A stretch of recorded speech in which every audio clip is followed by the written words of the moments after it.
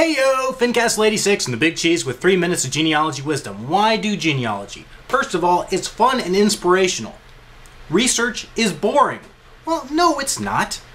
Most of the time, you do research because it's been assigned by a teacher, it's been assigned, the topic is not something that is personal, that is relevant to you, or it's been assigned at work by a boss, and frankly, you don't care as much about it. But when you go off and you do research for your own family history, you're doing something for yourself, self actualizing, you might call it, and you're being a detective. You're finding out facts that other people don't know. When you research for a paper in school, you're doing something that anybody else could do and probably has been done over and over again. But when you're doing genealogy, you're treading on virgin soil. You're creating knowledge. You're doing something new that not only you can enjoy, but your descendants and your relatives can enjoy too. Make it discoverable, publish something that can be pride. That can be pride in yourself and your own, own accomplishments, and it can be pride in your family's history.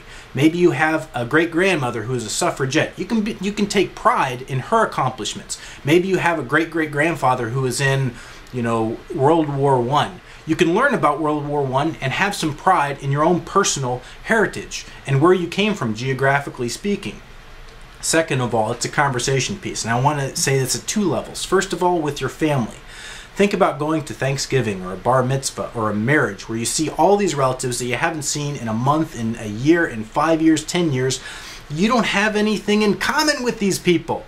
Well, yeah, you do have something in common with these people. Your family, you're part of the same family.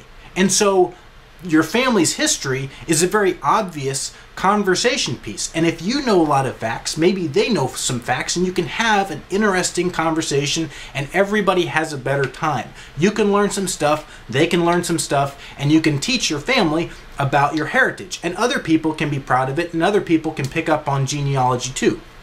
The other part of the conversation piece angle is it's an interesting conversation piece with your friends, people who aren't related to you. You can get a family tree, put it up on the wall. You can preserve photographs of your ancestors, put them up on the wall, and you can talk to them. You can talk to folks at the bar. You can talk to your friends in school. You can talk to your friends wherever it may be about your family's history. Don't take it too far, don't talk their ear off, but it's a cool conversation piece for anybody finally, you can learn history. You have an ancestor in a war, you have an ancestor who was involved in, you know, aviation back in the day, you have an ancestor who was in Alaska or who was in the FBI, you know, back in the early days. You have an ancestor who did, I mean, any number of interesting things. Maybe you have a famous ancestor, somebody who signed the Declaration of Independence.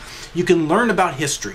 Also, you can learn research methods. And this is something that can serve you in good stead at your place of employment. It can help get you jobs because you can cite that as background, as experience. Even if it wasn't paid work experience, you can put that on your resume and say, yeah, I know how to do research, whether it's online or at the National Archives or at the Library of Congress. If you have experience doing research, there's a lot of employers who look for that kind of stuff. All kinds of reasons to do genealogy.